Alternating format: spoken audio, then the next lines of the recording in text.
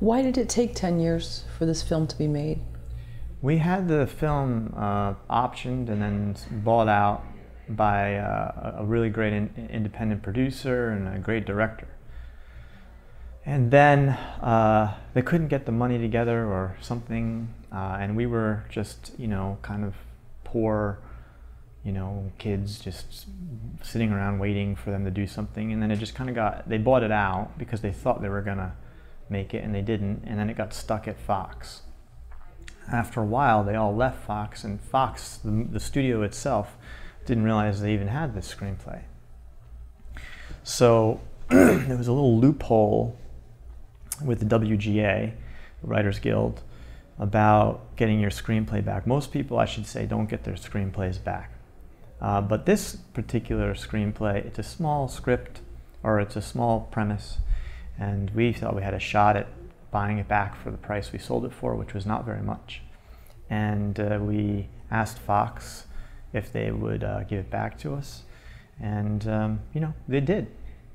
You know uh, they, they, gave it back to us for the price that uh, we basically for the price that we they bought it for, and we went and, and made it. But we had to wait uh, with that clause, the WGA clause. You have to wait five years. You have to wait five years after the last rewrite or the last active, it's called active development. And uh, a studio will find any way they can to not uh, give you back your script. They'll, you know, active development can be misconstrued as anything. I mean, it, that, you know, that could be a lunch. I mean, they could say anything. That's not really a legal. It's so loose, you know. But Fox, uh, they simply, simply put, they just didn't really know that the screenplay was in their vault because uh, the people who had brought it in had left, and uh, we got it back.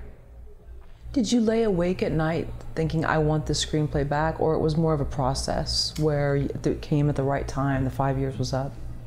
Um, uh, it was more in the back of my head. Uh, uh, when I had heard about this, this, this WGA clause, the five year thing, um, which was like a couple months after we had been we had done like a quick rewrite on it.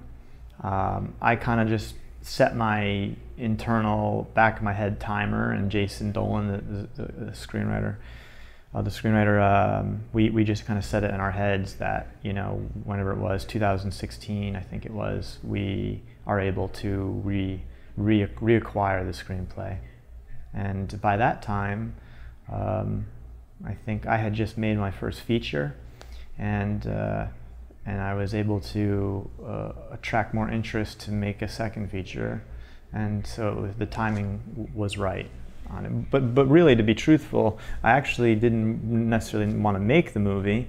I just wanted the script back. Uh, but uh, you know, um, we made it.